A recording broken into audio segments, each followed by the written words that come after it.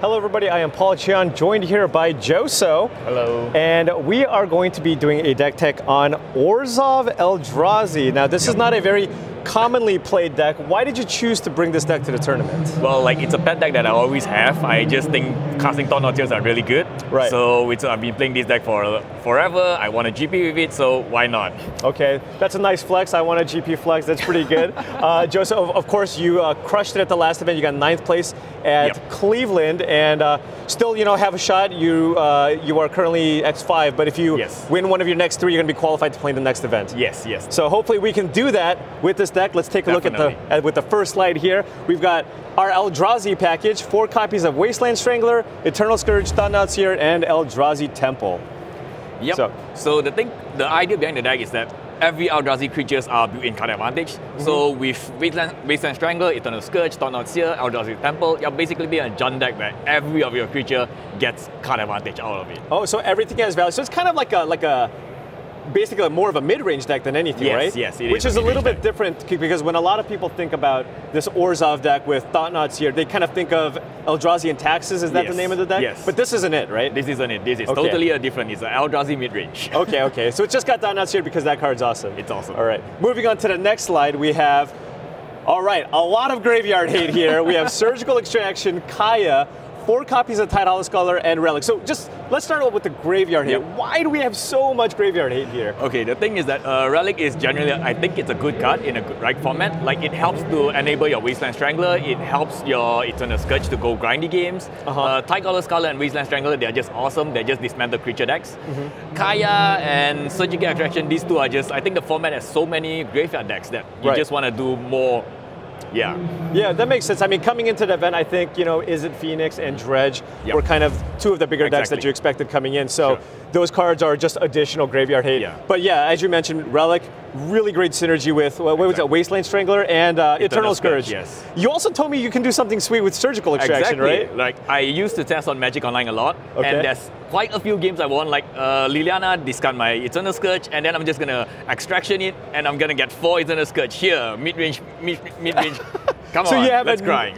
non-stop supply of three yes. threes, and it's really hard for any mid-range deck or exactly. control deck to keep up with all exactly. those three threes. All right, cool. Moving on here, we have Lingering Souls, Inquisition. I mean, this is basically just Jund, right? Yes, yes. it is. I think my deck is generally uh, also, it's more of an Eldrazi Jund than okay. uh, Eldrazi Taxes. Willie so, would be very appreciative of your deck. Exactly, yes.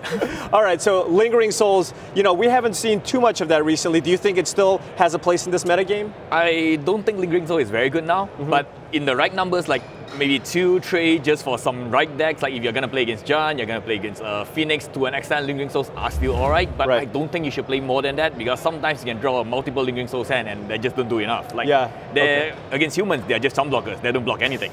yeah, that's fair. I mean, it used to be really good back when Affinity was a thing, but yes. now everybody seems to be playing Hardened Scales instead. Yes, and that's not very good against Hardened Scales. right, right. And then of course four copies of Inquisition, of Kozilek, yep. and no Thoughtseize. So what's the decision for choosing to go with Inquisition instead of just some thoughts Thoughtseizes? Like I think the meta game there's more aggressive decks. Mm-hmm. Like uh, my deck is designed to be the aggressive deck, human, uh, hardened scales and everything. So you don't really want to take the life loss. Mm-hmm. And you have Thought-Knot Seer and Scholar, which are eight discards for the for the cards that Inquisition cannot hit. So I, I, think the two life is more meta, but I could be wrong on this. So okay, yeah, I mean, I mean, I think it's a close decision. Everybody yeah. always varies the number of Inquisitions and Thoughtseizes they play. Right. Mm-hmm. All right, moving on here, we have our removal, and this is a, a hodgepodge of removal spells. I mean, one of these has to be the best removal spells, right? We got two path, yep. one collective brutality, mm. one dismember, two fatal. What's with the suite here? Well, I think it's more of respect of human. Like I think fatal push is uh, hands down the best removal, mm-hmm. but it's like if you're gonna go four fatal push, two path, and you're like meddling mage fatal push, meddling mage path, and you just lose the game. So. Right.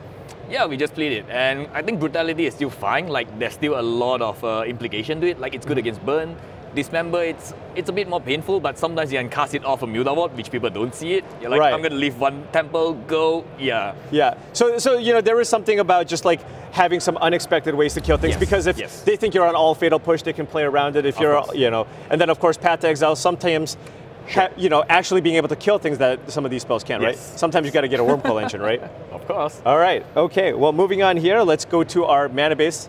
I mean, we got fetch lands, shocks, Yes. and some basics. And uh, I, I imagine you have to play, of course, some basics as a concession Yes. to uh, Path to Exiles and all Path that to stuff? Exile, Blood Moon, so yes. Yeah. Okay. Did you uh, have any consideration to putting maybe like one copy of Wastes in your deck at all? Uh, I actually did try the waste, but Mm-hmm. after a while, I feel like the waste isn't doing enough. Like, uh, if he's gonna blood moon you, you don't actually have any ways to search for the waste unless you're gonna path your own creature. So you need to have a board, a path, and then a waste. There's just too many things. Right. So it's like it's, if it's gonna blood moon, then And there's a lot of great colorless options. Yes. Right, finishing out the mana base here, we have, of course, some more black-white lands and uh, one copy of Gemstone Caverns and a couple of Mutavaults. So is this is this standard in most decks? Are you just kind of?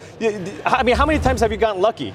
uh, I have quite got lu- lucky quite a few times. Like, well, uh, initially this was a waste, and then I just feel like the waste wasn't doing enough. Right. Uh, one Ghost Quarter, one Field Run, the third Murder wasn't doing enough. Right. And then like Gemstone Cavern, and randomly you just get lucky, and well, Okay. Yes. All right. Well, you know, I mean, it's a legendary land. You play one copy, doesn't really hurt. And uh, yeah, taking taking a look at the full deck, as you can see, I mean, again, just kind of looks like a, a s- solid black-white mid-range deck. You actually won a Grand Prix with this already, and uh, Yes. Eternal Scourge seems like a really sweet combination with uh, Relic of Progen- Yep. Progenitus.